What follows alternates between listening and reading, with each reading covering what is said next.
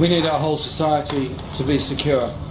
Jo was brutally murdered here 24 hours ago in this town, a town she loved, a town she grew up in, serving a community she loved.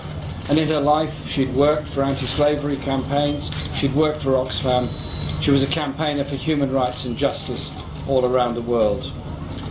She was taken from us in an act of hatred, in a vile act that has killed her. It's an attack on democracy, what happened yesterday. It's the well of hatred that killed her. She leaves behind a husband who made a truly wonderful statement yesterday. A statement saying that in her memory we would try to conquer hatred with love and with respect. She also leaves behind two young children who will never see their mother again. They will only be able to grow up knowing what she was, what she stood for, and what she achieved.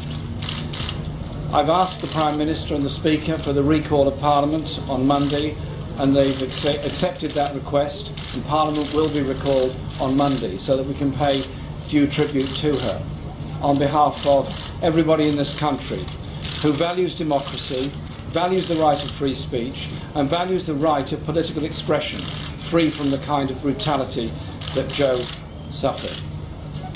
That's why we all need to come together to understand that everyone must have protection and security in order to function in a democratic society.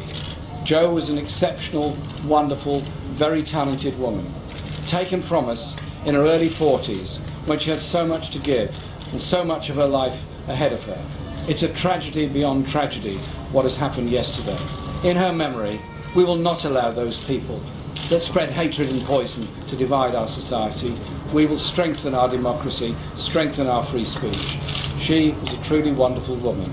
I'm deeply sorry, deeply sad of what has happened to her. And my condolences to all the people of Batley and Spen, who she represented so well, and of course to her wonderful family, her husband, her children, and all of her wider family.